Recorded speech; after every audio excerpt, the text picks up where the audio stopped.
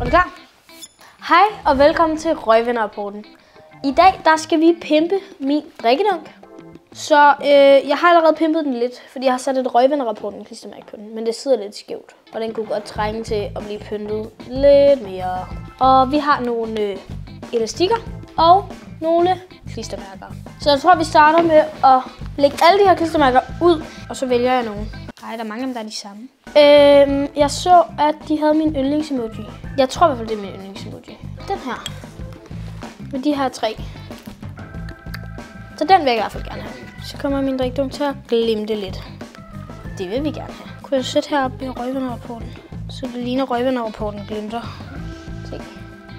Det glimter. Så skal vi have valgt nogle flere. Øh, vil du vælge nogen? Det kan jeg da godt. Brug den. Det er røg, der er blevet vendt. Nå. Og så har du en- en, den skal sidde sammen med. Der er en magnet. Så kan man sætte den herover, så den tiltrækker røg. Er det ikke meget sjovt? Det gør vi.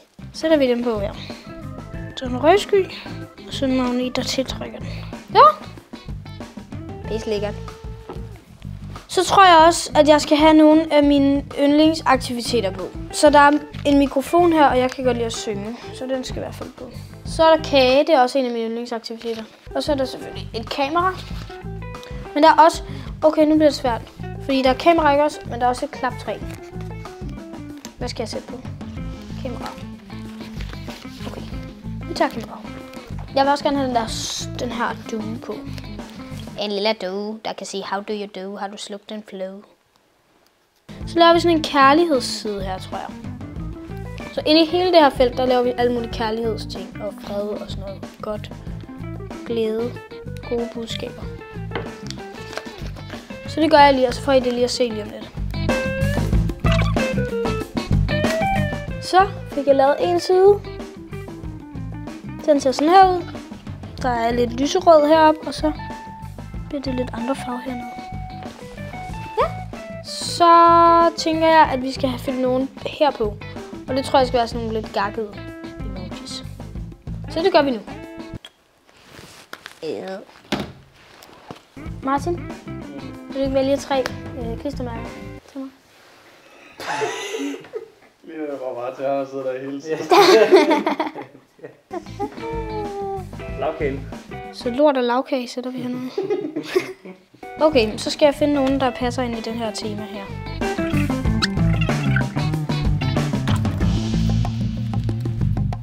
Så. Så har vi også den gakkede side. Så vi har den søde side, vi har den gakkede side, og så har vi der, hvor der står røgvennerrapporten. Så tror jeg, at vi skal pakke de her klistermærker væk og få gang i elastikkerne.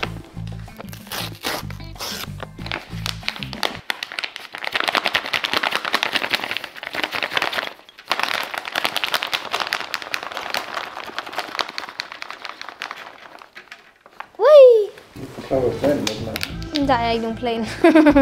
så vil jeg prøve at se, om jeg kan lave en kæde af elastikker, sådan, så man kan have den der på. Men jeg ved ikke helt, hvordan jeg vil gøre det endnu. Sådan en bånd af elastikker, så jeg. Nu er så den blå på, så sætter vi en lille. Det smarte ved at sætte elastikker på sin drikkedunk, det er, så har man altid elastikker. Så, fire elastikker. Hov, de bør gå lidt under øjnene. Skal vi lige have en grøn en for at slutte det igen, tror jeg. Tyrkis, så. Så. Altså, jeg synes, det er gevaldigt på min drikdunk. nu. Nu går vi snart. Det kunne man overhovedet ikke. så. Er den færdig? Det var, det var alt for pyntningen. Jeg ved ikke, om vi kan sætte et eller andet ind, så I kan se det bedre. Det tænker jeg godt, vi kan. Det kommer her. Jeg synes selv, den blev rigtig flot. Hvis I har lyst til at pimpe jeres drikkedunk derhjemme, så kan I jo bare gøre det, og så kan I sende et billede af det. Men jeg havde ikke mere til jer for denne gang. Hvis I har lyst til at se en anden video, hvor vi øh, kigger på noget med drikkedunke og drikkesystemer, så kan I se vores grejtest lige her. Og ellers så ses vi bare i vores næste video. Hej!